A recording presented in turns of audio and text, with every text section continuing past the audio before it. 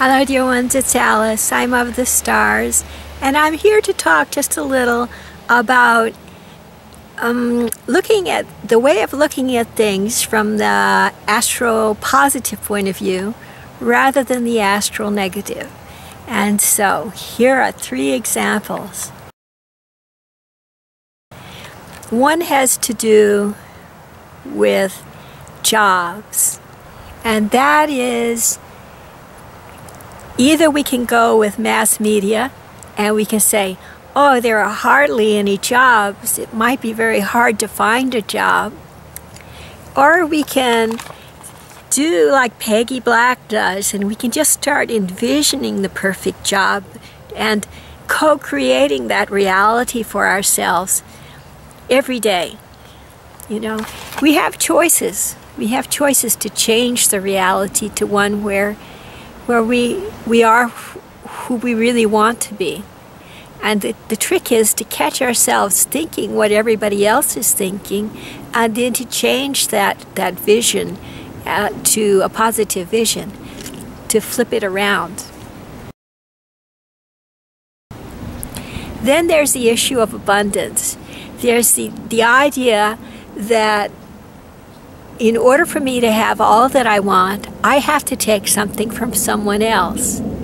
The idea of business competition and money competition. This is another idea that I feel is leaving the noosphere. And we ourselves can create a world through positive vision of enough for plenty for everyone. So there's that one. And there's also the idea of the perfect, the perfect soulmate or the perfect relationship, right? And and when I think about that, the first thing I come across as a woman is the notion that other women, uh, I get on the clair plane the feeling that other women are trying to latch onto someone that I have in mind and prevent me from from having a relationship. And this is what I would call female competition.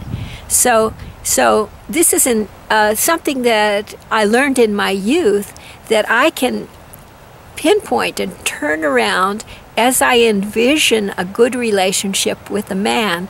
I can turn it around and say, This is my vision.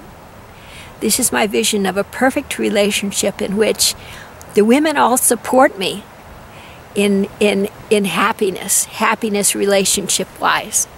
And and I think that men could do that too. You know, there's a very strong male notion of competition for women, and they could take like the obverse of this and use that in their own visioning of a co-creation of a of perfect relationship for themselves again daily. So, the last thing I have that I noticed today in particular has to do with where we live, you know. And in my case, I live in Los Angeles. And on the clair plane, I hear all the time all kinds of people saying bad things about my town, which is the city of the angels and the city that I came to help God and the angels transform to the light. So I'm here on purpose. I'm here to help out. And and and when I hear these other stories on the internet about how awful it is here and how I need to be elsewhere in order to do the transformational work, before I used to say, well, maybe I should leave. Maybe I should go someplace else. But today I got a different answer. And, and here it is. I'll show it to you. Okay, here is the view from my back windows in my backyard. You see over there, those are the Santa Monica Mountains. See there? All over there, that those are the Santa Monica Mountains. Just waiting. They're waiting for the Devas to return to them. The Devas come down through the Tejon Conservancy area and they come down through the the deserted byways and the park spaces and so forth. They come down and finally have come back from time to time to visit these Santa Monica Mountains, which are a pretty big chain of mostly east west facing mountains that run through Los Angeles.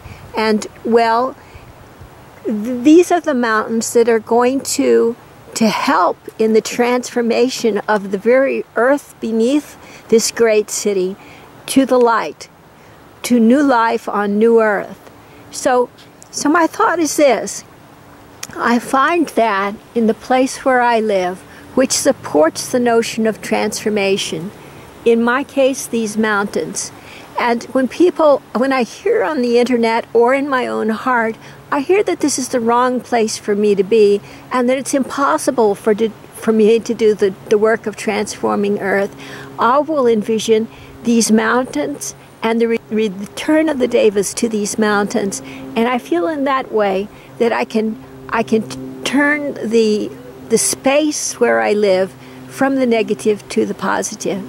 I hope this is of assistance to you all in transforming your own mental and emotional space from the negative to the positive, no matter what anyone says on the clair plane or what memories we may have of the past.